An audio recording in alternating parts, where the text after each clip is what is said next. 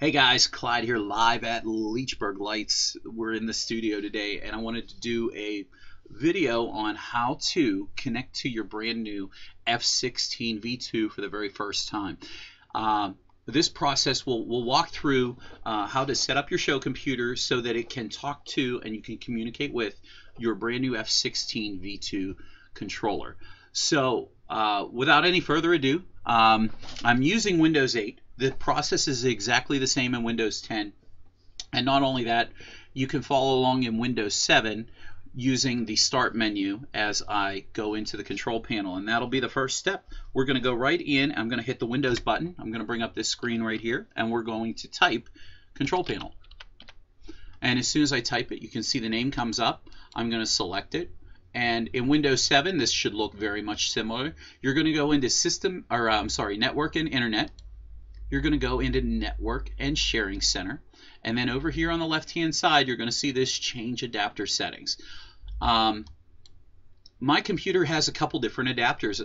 First, I have a Wi-Fi adapter that connects to the internet. Second, I have a wired Ethernet connection, which is how I physically connect my computer out into my display with all of my uh, controllers that are out there.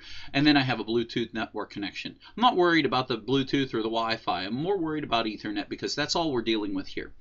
So, I'm going to double click on my Ethernet connection and it's going to bring up the status uh, panel.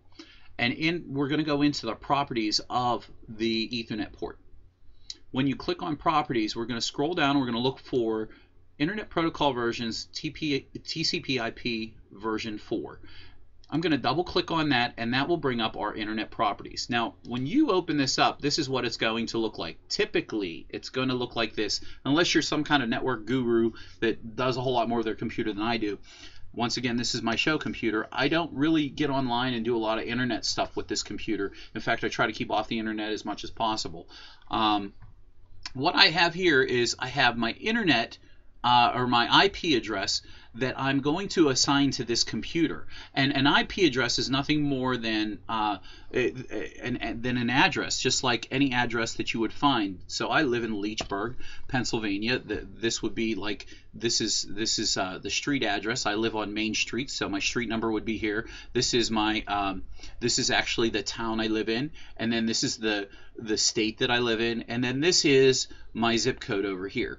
And what happens is all of these first three numbers have to be the exact same. You have to live in the same town in order to talk to anybody, but you have but this last number is what changes in your IP address.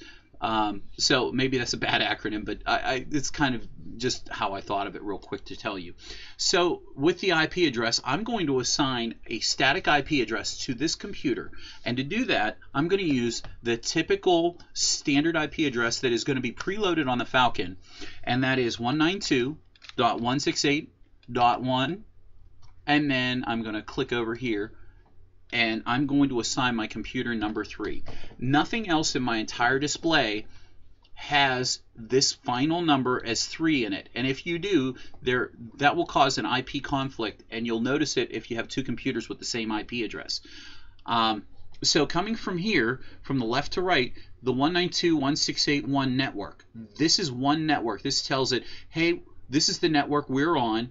Everything else needs to be set up identical to this. It has to have the first three sets of numbers the exact same. Once again, I'm not a network guru or an internet expert or a networking expert. I know that this will work for me in my standard or in my settings. Um, so from this screen, I'm going to just go ahead and push the tab button. And as soon as I do, you can see the subnet mask fills into 255.255.255.0 that we're just going to leave as default.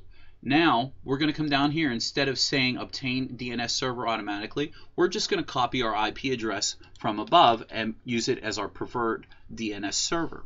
And that is 192.168.1 and dot 3. And we're going to leave that the same exact number as there. Once this is complete, this is the last thing that you do in order to get your computer set up to talk to your F16 V2. I'm going to go ahead and close out all of these. I'm just going to leave this open. And then I'm going to come down here to Internet Explorer. and I am going to go into my browser. Now, if you have a brand new F16 V2, you haven't connected it yet, now's a good time. I'm going to bring a picture in here because I don't have a video to show you to do this. You're going to connect your controller with power on the right side of the board and this will power all of the in internal electronics that will run the board and allow your uh, your status indicator lights to light up right here. Here's where they would show up. So somewhere right here, there's one, there's two LEDs that will light up as soon as you apply power to the board. And your your positive goes on the right here, your neutral goes on the left. Make sure whenever you're setting your F16 V2 up, this setup here, I think I have pin number two and three uh, with the jumper on it. That is for 5 volt. I'm pretty sure pin 1 and 2, 3 and 4 are connected to get your uh, 12 volt and I believe the instructions are located right here on the board to tell you which pins need connected when you're connecting 5 volt or 12 volt to the board so you don't blow anything out. Um, so once you have power connected to this via a power supply which is not shown in the picture you're going to connect a standard Ethernet or patch cable or straight through cable, a standard um, uh, networking wire into the uh, RJ45 network jack here on the F16 expansion board here. Not the expansion board, but the uh, but the uh, uh, raised board here. Once you've done that connection there, you're going to go back to your computer and you're going to connect into the back of your computer into your Ethernet port. Once that connection is made, now you can go in and you can type this the um, the IP address for your F16 V2, which should come in at 192.168.1.50. Now, my F16 V2 is in the display at the moment. It is not at 50. I have another controller that's set up to uh, receive uh, data in, at the uh, IP address of 50. I'm going to change it to .70. And as soon as I do, I have immediate connection with my F16 V2. Um, if you've missed any one of these steps that I have just laid out by going into the network and sharing center, going into change adapter settings, you will not make connection at all. You have to be on the same IP configuration. If we go into the network configuration page, this is one of the biggest things whenever you are connecting to your F16 V2 that you need to make sure you are on the 192.168.1 network. If your computer is not configured to this, let's say your computer is configured to 10.10.10.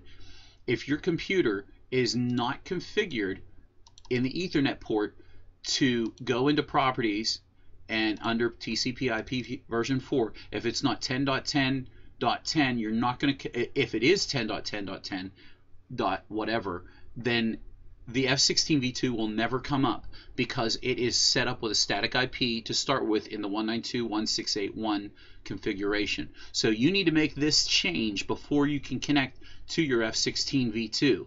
Now, let's say you decide you don't need the 192.168, you want it to be 10.10.10. whatever.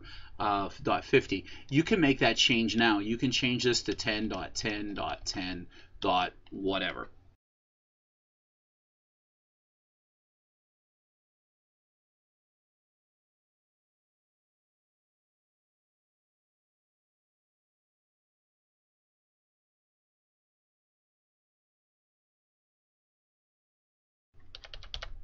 Um, that is your choice. You're welcome to change your IP address to whatever you need it to be. Um, but I, I, typically, like I said, I leave it at 192.168.1.70 for this specific location. So guys, I think that's pretty much it. Uh, if you have any questions or if you have any comments, please feel free to leave them below. As always, you can get in touch with me through my website at www.leechburglights.com.